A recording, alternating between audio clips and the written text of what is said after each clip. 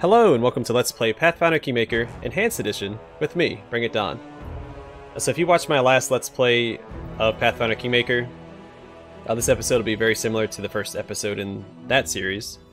Uh, I'm just going to do my character build here and the introductory dialogue at the beginning of the campaign, and then call it an episode. Uh, but I will also go over some of the Enhanced Edition changes, and at the very end, uh, if you stick around, I will show off the Aldori Sword Lord's tree, since you can't see the prestige classes trees in character creation for whatever reason. I think that's very dumb. Anyway, uh, so alongside the Enhanced Edition, the final Season 1 DLC was released, uh, Beneath the Stolen Lands. It is a procedurally generated dungeon. Uh, it's an infinite dungeon, you can just play through it.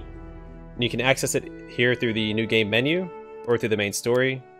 We'll be playing through the main story, as one of the two new classes that was introduced with the Enhanced Edition. So going to jump in. I will be playing it on Challenging, as I did the first time through, and with the Varnhold's Lot DLC. Uh, this Let's Play will also have all the current DLC, all three of the uh, Season 1 Pass DLC, as well as Arcane Unleashed, Bloody Mess, and I have one of the Kickstarter packages as well. Uh, some of the changes with the Enhanced Edition, I'll go over that real quick. Uh, they've balanced the game quite a bit. Uh, supposedly the early game is a lot easier now, so if you were struggling before, it should be a lot easier for you to get through it now. Uh, they've made it so that mercenaries uh, can be put into advisor roles, which is really cool, because I know a lot of people can't stand the default companions, or the story companions. Uh, they've also made it so that you can respec.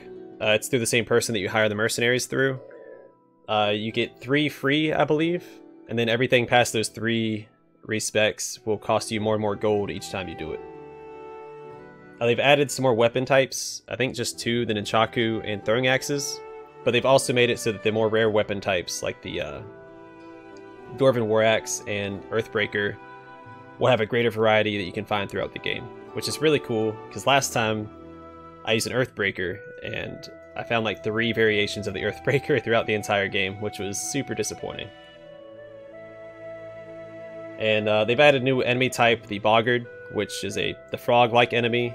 Uh, they're pretty common in a lot of fantasy games and fantasy settings. And I think that's all the major changes. There's a ton of changes. Like I can't go over, I couldn't possibly go over all of them. Uh, let's go and jump in. I already know what I'm going to create, so a new custom character. Oh yeah, also, when you update to the Enhanced Edition, if you have any custom portraits, they disappear. Um, they don't just get moved or anything, they, they're gone.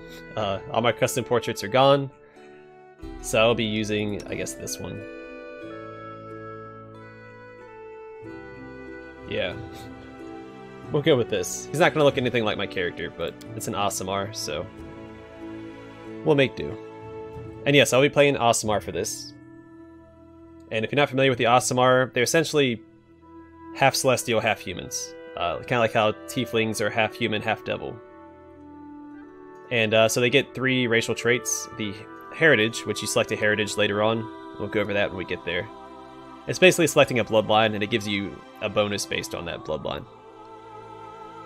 Uh, they get a light halo, which is a toggleable ability. While using a halo, they gain a plus 2 circumstance bonus on saving throws against becoming blinded or dazzled. And they also get celestial resistance. Uh, they get 5 cold, acid, and electricity resistance, which is pretty good. And I already know how I'm going to build this guy. He's going to be a bronze god. I'm going to go bald because I don't have any hairstyles I'm happy with. There we go. If I was bald, that's what I would look like.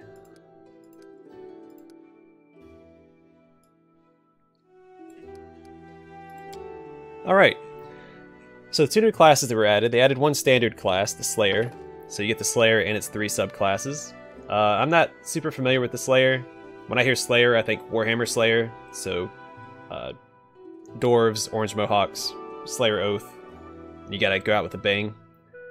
Uh, they look like a DPS class at a quick glance. So, if you're interested in DPS class, I'm not familiar with them. Not interested either. Uh, the prestige class that was added was the Aldori Sword Lord.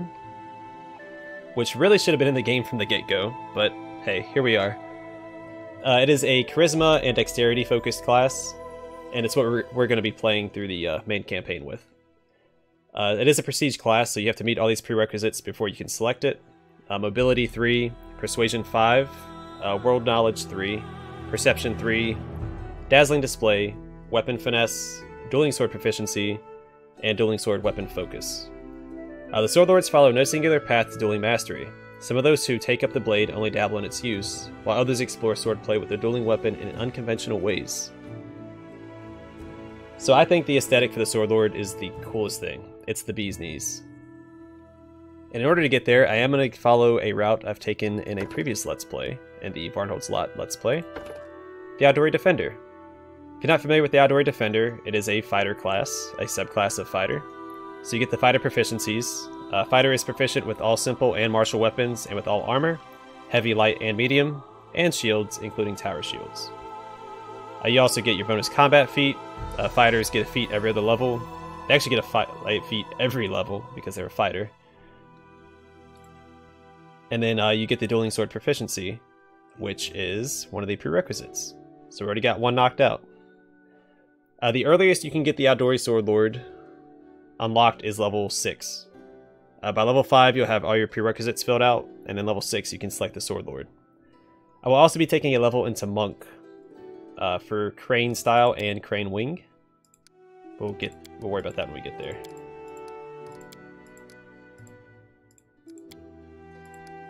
There we go. Alright, so for Heritage, I do highly recommend taking the Muse Touched, the Azata Blooded, uh, the Azata-blooded Aasimars have a plus 2 racial bonus to Dexterity and Charisma. Those are your two most important attributes for this build. And a plus 2 racial bonus on Persuasion and Mobility checks, which are... we have to put points into those anyway, so you may as well get the plus 2 uh, to Persuasion and Mobility. Now, Persuasion's a big one. Every level we will put points into Persuasion. Uh, mobility, not as much. We'll probably just take the 2, maybe put some more points into it. Anyway, you, can use the Glitter Dust spell once per day, That'll be useful pretty early on in the game. Later on, it'll probably fall off since we are uh, not focusing on spell casting. So we won't have like spell penetration or the intelligence for it. But it's something else we have up our sleeve in case, you know, it might come in handy. Oh yeah, another thing that came with the Enhanced Edition that I just remembered, uh, the Coup de Grace. Uh, so the Coup de Grace is a finishing ability if an enemy is pr knocked prone or paralyzed, you can take a full round to try and kill them outright. And it's very likely to succeed. So uh, we'll, we'll look at it once we're done building the character. So here, in order to get the Adori Defen or sorry, the Aldori Sword Lord by level 6, uh, these are the you need to have at least 14 points into intelligence. And you can always take some from like wisdom and constitution or strength if you want to. I don't like having a negative modifier, so I try to keep everything at 10. Then you bump this up to 20, and then Charisma up to 15. So the first ability point you get, uh, put into Charisma, so you get that plus 3. Because Dazzling Display is a huge part of this build. Alright, so here I do recommend getting Mobility, Perception, and Persuasion first. And the reason why I like this build for the main campaign is having a high Persuasion and high charisma is really good for the main character of the Kingmaker campaign, because uh, there are some points where you are by yourself and you can't rely on your companions' charisma checks. So, so yeah, this is ideal if you want to unlock the Sword Lord as early as possible. This is the minimum intelligence requirement that you need, so you can allocate all your points. Because remember, you need three into mobility, uh, three into world knowledge, 5 into Persuasion, and 3 into Perception. And you can the earliest you can get it 5 into Persuasion is at level 5. So Alright, so abilities. Here I recommend taking all your prerequisites that you need. Uh, weapon Focus into Dueling Sword, and then take Weapon Finesse, because again we don't have anything for Strength. It's all uh, it's all in Dexterity. I did notice uh, something here. So with a light weapon, Elven Curved Blade and Estoc are Estoc or Rapier, made for a creature of your size, you may use your Dexterity modifier instead of your Strength modifier on attack rolls. But it's funny because once you hit level 5, and you select weapon training. If you want to get weapon training for the dueling sword, you have to select the heavy blade option. But here, it says with a light weapon. So I'm.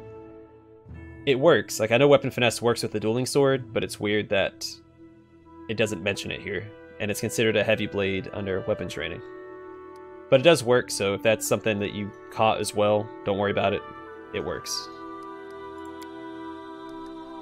Their life ends here. I'm gonna go confident. And uh, someone was making fun of my name. they're they're apologetic, but they were making fun of my name and how it didn't sound heroic because I usually select Donald as my fantasy uh, fantasy name. Uh, so I'm gonna go Don Victus. There we go.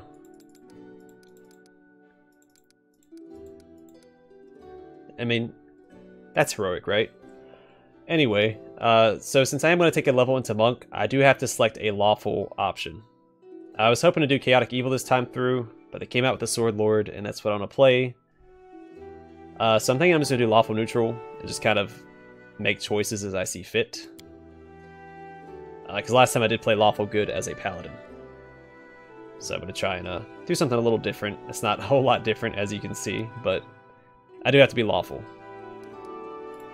I'm always ready. There we have it. Alright, so coup de grace. As a 4-round action, you can use a melee weapon to deliver a coup de grace to a helpless opponent. You automatically hit and score a critical hit. If the defender survives the damage, he must make a fortitude save, difficulty check 10, plus attacker's base attack, plus melee damage attribute modifier, plus weapon's critical modifier, or die. Delivering a coup de grace provokes attacks of opportunity from threatening opponents. You can't deliver a coup de grace against a creature that is immune to critical hits. Yeah, it's that's gonna be very, very useful. But yeah, uh, here's my build.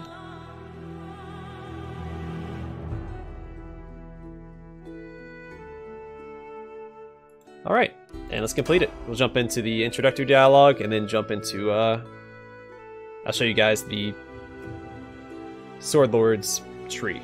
There we go. Can't talk.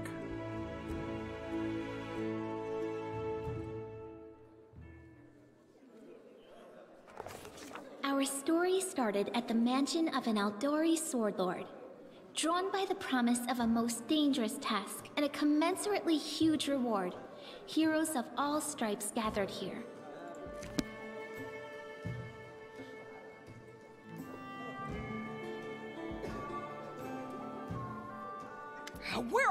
This is taking forever! It didn't even say what this was for, just that the Aldori were looking for heroes. Who are the Aldori anyway? Rich folk? If you can't be patient, no one's keeping you here. Just go back to your mountains or whatever hole you crawled out of. The Aldori Sword Lords run the premier school for the dueling arts. They're also the richest and most influential group in this part of Brevoy. Take that tone with them, and they'll teach you some manners pretty quickly. All right, you purple toad, just shut your trap. And if you can't, I'll help you. Hush! Quiet! They're coming.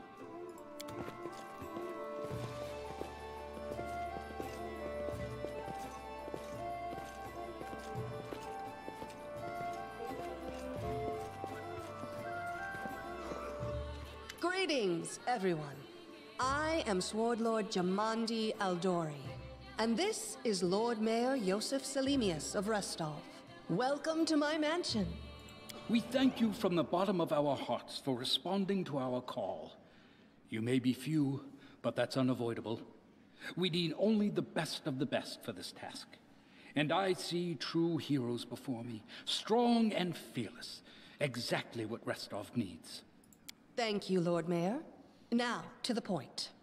South of here, just beyond Brevoy's border, lies a region known as the Stolen Lands. This is disputed territory, and while it's long been claimed by nearby states, it's never been truly taken. I won't bore you with the legal technicalities. Suffice to say that anyone with enough courage and power to seize the stolen lands and name themselves Baron or Baroness, claiming dominion, well, none of the neighboring states would be able to challenge it. Of course, Restov would be first to recognize the legitimacy of this new state, as well as the noble title of its founder. Unfortunately, one serious obstacle stands between you and this title. A gang of bandits holds sway in the Stolen Lands. Their chief, who they call the Stag Lord, considers himself the rightful owner of these lands, and no one has yet been able to challenge his power. Bring me his head, and you'll be able to return to the Stolen Lands as their legal ruler. Any questions? Now, there's a whole team of us. Who exactly will receive the Baron's title? I will, of course. I'm the leader of this team, after all. Don't worry, though. I'll make it worth your while to help me. We haven't yet begun, and you already speak of divvying rewards. What makes you think we'll even succeed? There's little point arguing over who gains the title when we'll most likely lose our lives there. if I may please answer the question. Jamandi clears her throat loudly, interrupting the argument. She takes a long pause, waiting for the voices to die down as everyone directs their attention toward her. We believe you're all equally deserving of a noble title.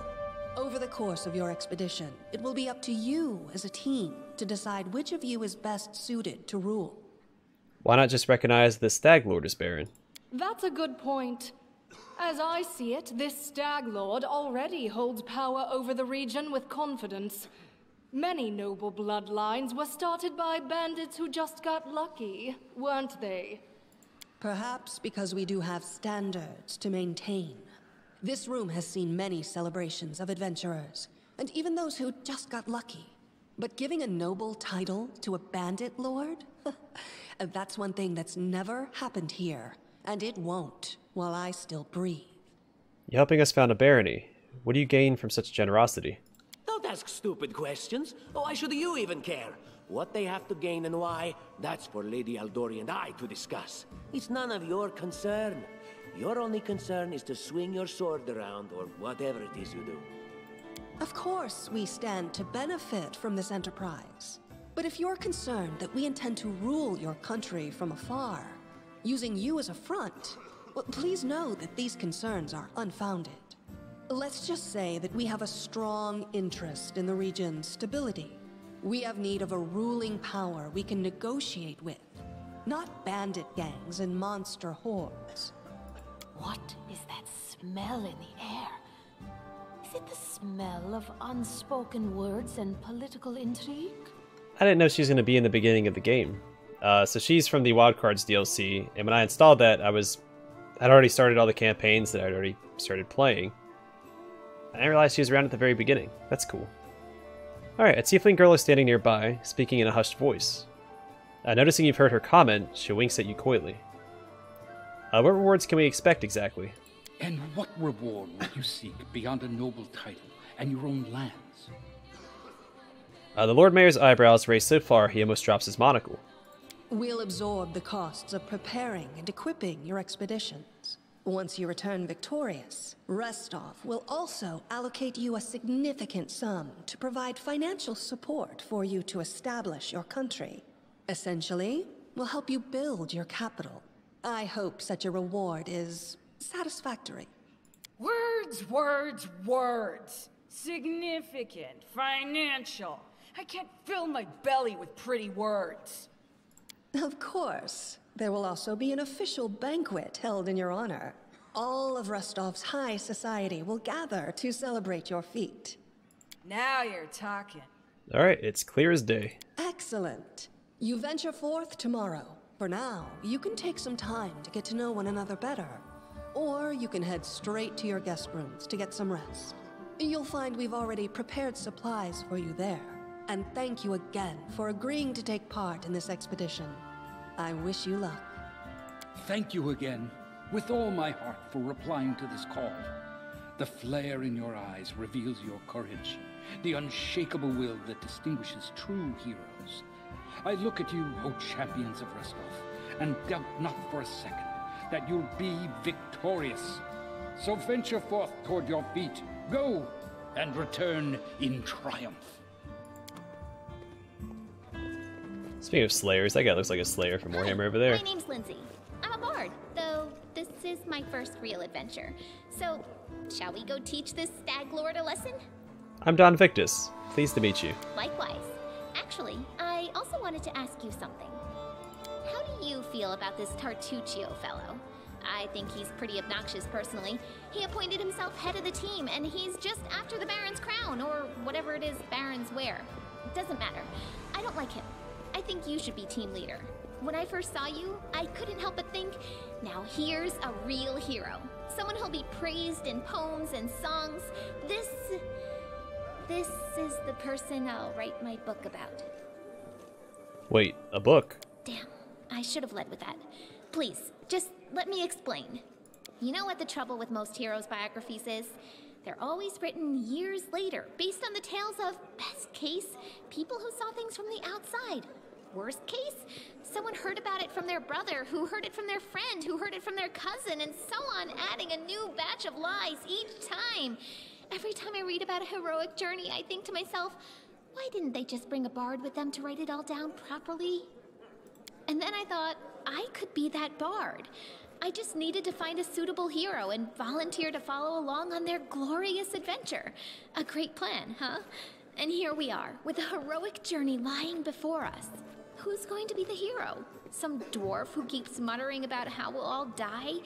Or maybe that horrific scythe lady? Or, God's forbid, Tartuccio? No way. What about that barbarian?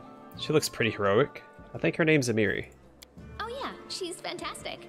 You can tell she could tear a bear's head off with her bare hands, but she kind of scares me just a little. But I mean, her sword's twice as big as I am. She could cut me down without even noticing. Just think on it a bit, all right? I'm sure you'll agree. All right, I'm going to my room to write about tonight. See you in the morning. All right, and I'm gonna edit here, and I'll see you guys with the uh, the Sword Lord tree. Okay, and here we are with the uh, the Sword Lord tree. We'll just, I'll show you everything that it has. Alright, so a Deft Strike.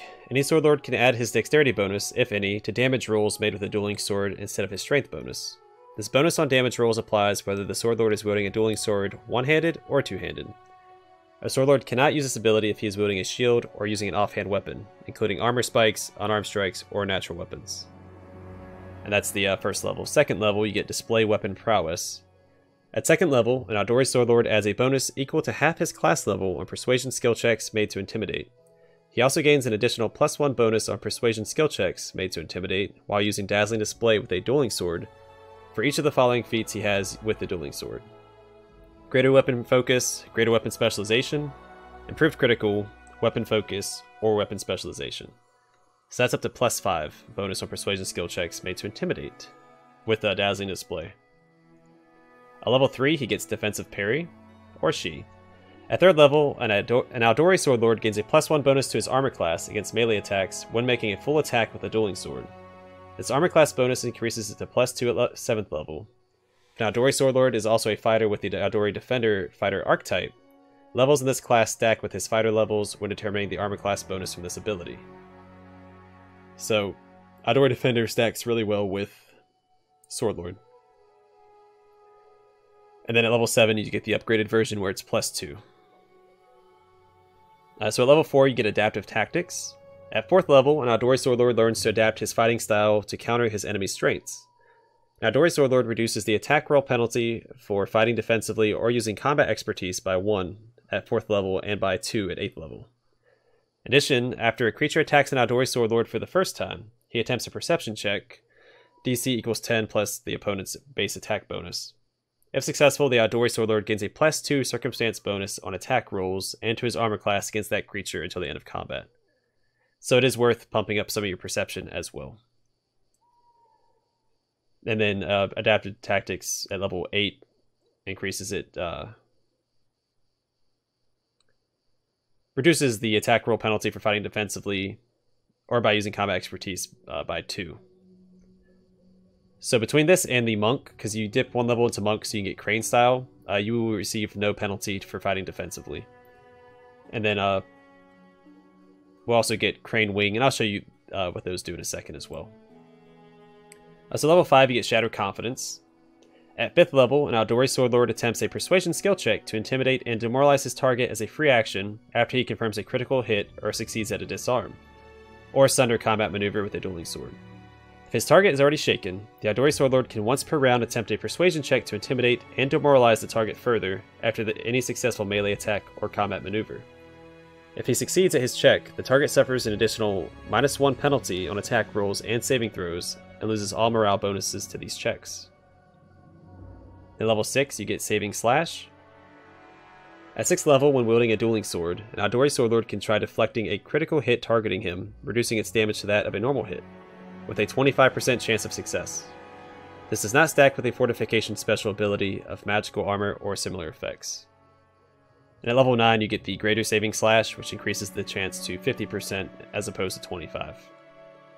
Also at level 7, alongside the uh, defensive parry, you get Dexterous Duelist. At 7th level, an Aldori Swordlord does not provoke attacks of opportunity when standing up from prone. It's kind of, uh, ugh. it's okay, I guess.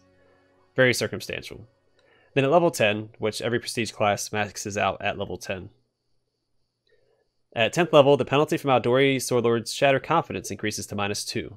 The target also loses all insight and competence bonus, bonuses to these checks.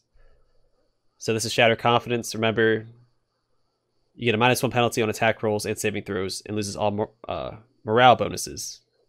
And then any competence and insight bonuses also get removed. And instead of just minus 1, it's minus 2.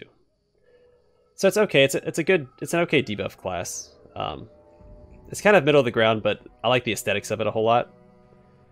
And you will be fighting defensively basically the entire time. So this cannot continue.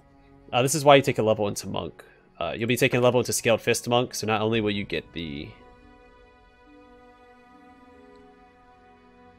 Oh, where is it at? The armor class bonus. So Scaled Fist is the charisma based monk class. When unarmored and unencumbered, the monk adds his charisma bonus, if any, to his armor class and CMD. In addition, a monk gains a plus 1 bonus to armor class and CMD at 4th level, which isn't important because we won't be going that high, but we will be getting the first effect. Uh, when unarmored and unencumbered, the monk adds his charisma bonus to his uh, armor class and CMD. So again, since we're a charisma-based build with the Sword Lord, that it all just stacks together very well. Uh, we'll also be taking the Crane style feat. You take you take only a minus 2 penalty on attack rolls for fighting defensively. Uh, while using this style and fighting defensively, you get an additional plus 1 dodge bonus to your armor class, which stacks with the uh, Sword Lord's ability, which we'll go over in a second. But we also want to take uh, Crane Wing when fighting defensively. Again, we'll be fighting defensively for most of the game, probably post Chapter 1. Uh, chapter 1, since we have such a low chance to hit, we don't really want to take fighting. We don't want to use the fighting defensively too much um, especially we're having trouble hitting. Uh, but Crane Wing, when fighting defensively with at least one hand free, you gain a plus 4 dodge bonus to armor class against melee attacks. If a melee attack misses you by 4 or less, you lose this dodge bonus until the beginning of your next turn. So what's good about this is it's a dodge bonus, and touch attacks or range touch attacks ignore your armor class except for your dodge bonus. So dodge bonus is really good, uh, just in general. Uh, so you want to take both of these feats with the build. But yeah, along with Crane Style, you get the minus 2 penalty on attack rolls for fighting defensively. And with the other effect from the Sword Lord, uh, right here, Adaptive Tactics, you uh, take the fight. So fighting defensively gives you a minus 4 penalty to attack. But if you have, once you hit level 8 with the Sword Lord, and you have the Crane style feat, uh, that is a zero penalty to fighting defensively, which is really good. So you just get the bonus to fighting defensively. Which, by the way, in case you don't know, I'm just showing everybody. Uh, fighting defensively, you can choose to take a minus 4 penalty on attack rolls and combat maneuver checks to gain a plus 2 dodge bonus to your armor class. If you have 3 or more ranks in mobility, you gain a plus 3 dodge bonus to armor class when fighting defensively instead. And again, since we're putting points in mobility, it stacks even higher, you get a higher dodge chance. And between both the feats, the crane style and the uh, feat you get from level 8 of uh, the Sword Lord, you take no penalty, and you just get a free plus 3 dodge bonus, because you have to have at least 3 points in the mobility to take the Sword Lord class anyway, so you already get that bonus. So yeah, it's just a very defensive build, but it also does good damage. And there you have it.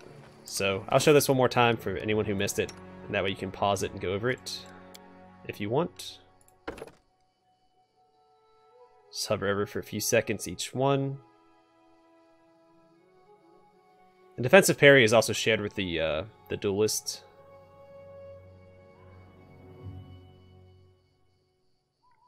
If I'm going too fast, just uh, feel free to pause it. I mean, I already read it out loud, so I've done my part. There you have it. Anyway, uh, so next episode we'll continue with the main campaign.